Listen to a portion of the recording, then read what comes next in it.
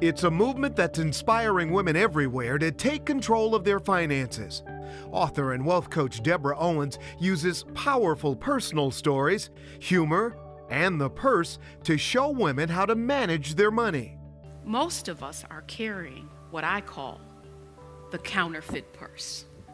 Now, what's the counterfeit purse?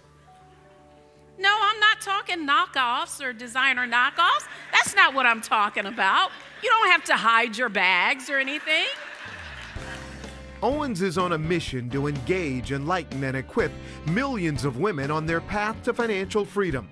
Her message of empowerment has been called critical in today's society.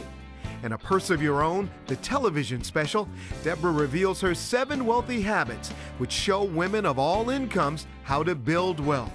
So stay tuned for an uplifting television event, Deborah Owens and A Purse of Your Own.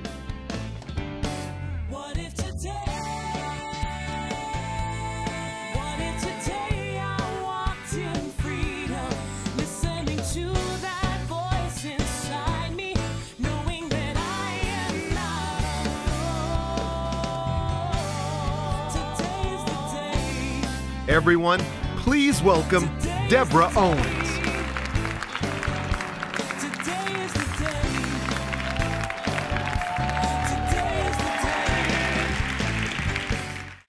Story, I went into a department store to buy some detergent. And when I got into the store, I got a little cart. Before I know, the music is playing, I'm happy, and then you know I'm grooving, and other people are grooving with me. And before I know it, I have all these things in my cart. I went into the store for detergent. What did I do?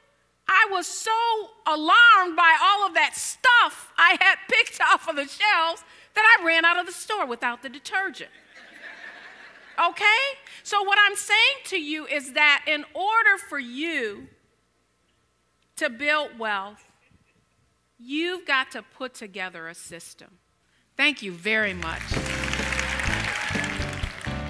I love it, I love it, I love it. I've learned so much. It's never too late to change your financial situation. So I'm going to absolutely go home and start a purse group. That's what I'm taking away for, from this.